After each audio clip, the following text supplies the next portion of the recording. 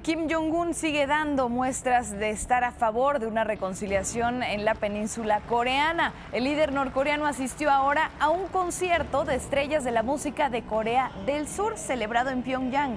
A Kim Jong-un se le vio animado, además aplaudiendo desde un palco y más tarde saludó también a los artistas detrás del escenario. Incluso conversó con ellos y se tomó fotos, según los reportes de la prensa surcoreana. El ministro de Cultura surcoreano también Do Jong-wan acompañó a Kim Jong-un en el palco de honor. Imagen Noticias con Paco Sea, lunes a viernes 5.50 AM. Participa en Imagen Televisión.